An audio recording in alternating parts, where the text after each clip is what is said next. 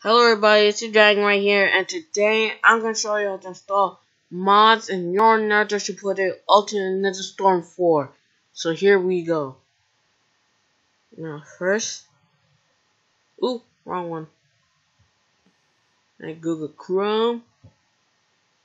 Now, if you guys want, if you guys want like a, mm, like any Naruto 4 mods, just go to NarutoMods.com the link will be on the description.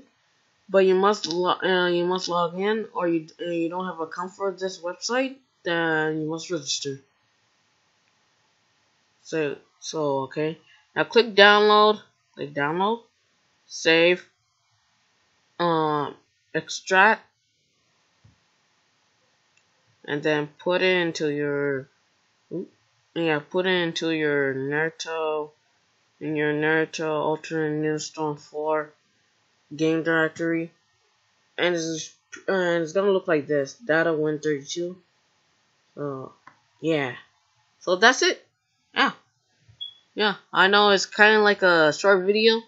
But hey, it's making it easy for you guys. And, you know, it's kind of like the Naruto should put it. Instead of this thing, um, instead it doesn't have like the past data. So, okay, let's go. Now instead having a Telby planting rats and shuriken, it's gonna have this. Oh yeah, boy!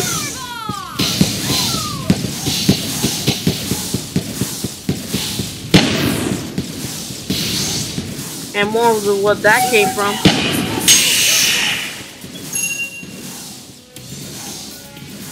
Super Tailbeast Rats and!